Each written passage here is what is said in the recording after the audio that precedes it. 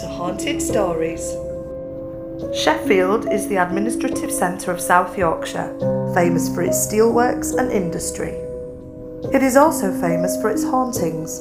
Two of the most active places are the Central Library building and the Town Hall. In the Art Deco library, a librarian had a shock when she had an encounter with a disembodied arm.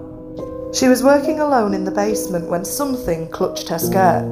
She saw an arm emerging from a bookcase, twitching and writhing before fading away. The arm never appeared again, but other staff members have heard guttural death rattles attributed to the medical school that previously occupied the site. Meanwhile, at the town hall, a cheeky poltergeist causes mischief.